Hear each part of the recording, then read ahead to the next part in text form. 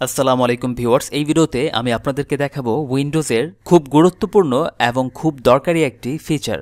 তো ফিচারটি আমরা দেখে নেই।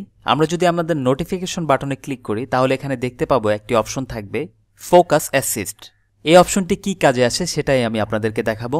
তো আমরা যদি এটার মধ্যে ক্লিক করি, এখানে দেখতে পাবো অন প্রায়োরিটি অনলি আবার যদি ক্লিক করি, তাহলে এখানে দেখাবে অ্যালার্ম অনলি আবার যদি ক্লিক করি, এটা অফ হয়ে যাবে। তো এই অপশনটি কি কাজে ব্যবহৃত হয় সেটা আমরা দেখব। তো সেটা আমি দেখাতে হলে আমার সেটিং অপশনে গিয়ে তারপর আপনাদের বোঝাতে হবে। তো ফোকাস অ্যাসিস্টে মাউস রেখে রাইট বাটনে ক্লিক করব, তারপর এখান থেকে গো টু সেটিং অপশনেতে ক্লিক করব। তো প্রথমে এখানে তিনটি অপশন দেখতে পাচ্ছেন off priority only alarm only তো আমি অ্যালার্ম থেকে শুরু করব।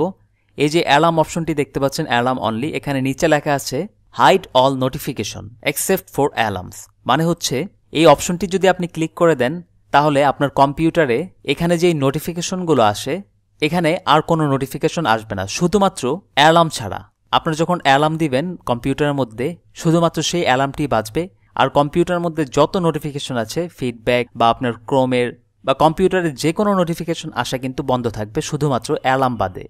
আর উপরে যে অপশনটি দেখতে পাচ্ছেন প্রায়োরিটি অনলি এটার মধ্যে যদি ক্লিক করে, আপনি কাস্টমাইজ ইউর প্রায়োরিটি লিস্টে ক্লিক করেন, তাহলে আপনি এখান থেকে যেই অ্যাপগুলোকে আপনি পারমিশন দিবেন, শুধুমাত্র ওই অ্যাপগুলোতেই নোটিফিকেশন আসবে আর বাকিগুলোতে নোটিফিকেশন আসবে না।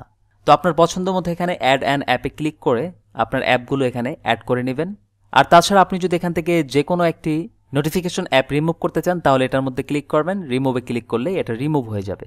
তো তারপর আমরা ব্যাকে যাব। ব্যাকে গিয়ে এখানে অফ তো দেখতেই পাচ্ছেন। অফের মধ্যে ক্লিক করলে আপনার সকল নোটিফিকেশন আবার অন হয়ে যাবে।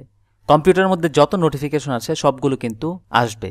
তো এই তিনটি অপশন আপনি চাইলে ব্যবহার করতে পারেন। আর নিচে দেখতে পাচ্ছেন অটোমেটিক রুলস এই অপশনটির মাধ্যমে আপনার পছন্দ মতো টাইম সেট করে রাখবেন। ওই টাইম অনুযায়ী আপনার নোটিফিকেশন বন্ধ থাকবে এবং অটোমেটিকলি ওই টাইমটি ওভার হয়ে গেলে আপনার নোটিফিকেশনটি আবার চালু হয়ে যাবে। তো উইন্ডোজের জন্য এটা খুবই গুরুত্বপূর্ণ, কারণ অনেক সময় আমাদের অনেক কাজেই কিন্তু নোটিফিকেশন অফ রাখতে হয়। আর তাছাড়া স্ক্রিন রেকর্ড করার সময় কিন্তু নোটিফিকেশন অবশ্যই অফ রাখবেন। তো আশা করছি এই ভিডিওটি আপনার কাছে ভালো লেগেছে। যদি এই ভিডিওটি ভালো লেগে থাকে, তাহলে অবশ্যই ভিডিওতে একটি লাইক দেবেন, শেয়ার করবেন এবং চ্যানেলটি সাবস্ক্রাইব করে পাশে থাকা বেল আইকনটিতে ক্লিক করে রাখবেন। তো পরবর্তী ভিডিওর আমন্ত্রণ জানিয়ে এই ভিডিওটি শেষ করছি। আসসালামু আলাইকুম।